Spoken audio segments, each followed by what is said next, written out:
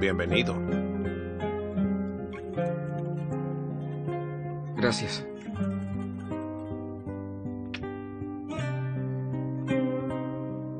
Es increíble. Por lo que veo, aprendiste modales.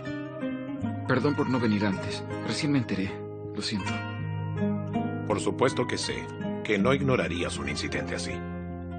Soy yo quien te crió. ¿Cómo estás ahora? ¿Sientes dolor? Me siento estupendo. Pero ahora no hablemos de la cirugía. La razón por la que te llamé es otra. Es por la escuela, ¿no? Bajar ya me contó, gracias. Bajar debe haberte contado parte. Mira, hijo, eres mi heredero, mi sangre. Quiero arreglar este conflicto de una vez por todas. Sé lo que me vas a decir, abuelo, y no lo acepto. Siéntate. No eres un recién nacido. Primero escucha lo que tengo que decir. La vida es muy corta como para estar enojados. Acércanos más a Tuxe. La acepto. Podemos prepararte una boda y todo. Luego puedes ir a estudiar al extranjero.